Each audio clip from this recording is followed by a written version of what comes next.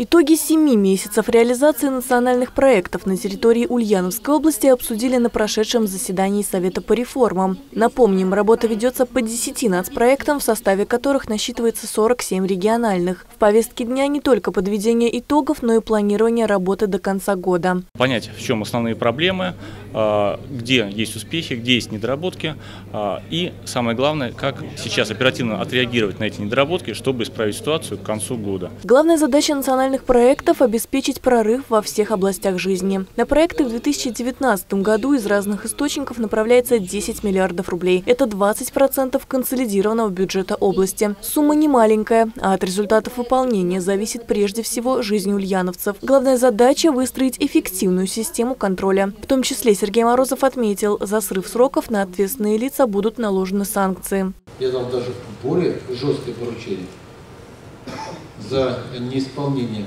за срыв, прошу прощения, срок представительное предложение об освобождении от занимаемой должности, даже увольнение соответствующих, э, соответствующей службы тех, кто допустил невыполнение э, поручений президента. Решено, что подобное подведение итогов и постановка задач на будущее будет проходить в каждом муниципалитете, а в региональных паспортах будут фиксироваться квартальные значения реализации проектов. Анна Тищенко, Юрий Ломатов, Новости Улправда ТВ.